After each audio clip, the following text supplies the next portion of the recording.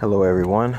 This is Gabriel with the forexhelper.com, and um, just wanted to show you guys another account here on uh, MetaTrader. Uh, as you can see, uh, today's date is July 20th. Um, I've been holding these currency trades for about, uh, I say like two days or three days. Um, I usually put stop losses on these currency trades, so I'm a little embarrassed to show. Shouldn't be embarrassed to show the profits, but um, obviously there's no stop loss on on a couple of these. This one was held uh, the 19th. Uh, was traded on the 19th, I should say. Um, so yeah, it's about the time.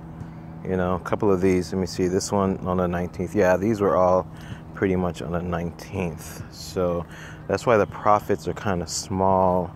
Uh, $51, $34. Um, so they're doing pretty good to start, um, especially to start off on this trade. And um, yeah, normally I, I don't show the full currency that um, that I'm trading because uh, that feature is open access for membership only. Uh, if you want membership with all of the currencies that I would normally trade, then you can have um, access to all the currencies. But for the free trades, I'm only giving uh, one currency, and um, so so you get a chance to see all of them just for these uh, most recent videos.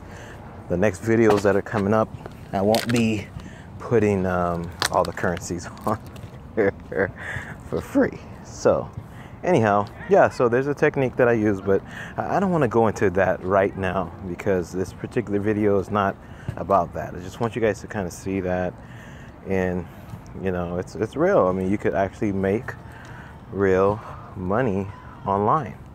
You know, that's the whole that's the cool thing about, you know, the currency trading. And you can also lose money too. I don't want to make it seem like it's just easy like here you go.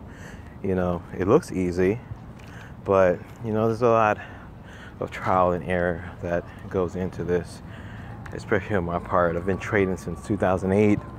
Um, and I've been trading off and on. I never really made like a big move until now. I'm trying to make a big move on this, and I just want to be able to share with anybody else who uh, who wants to do the same thing. I've come up with a particular strategy that I found out about maybe five years ago, and I didn't really apply it that strongly. So just kind of tweaked it a little bit, but um, it works. So if uh, you want to be a part of it, then I invite you to join the forexhelper.com.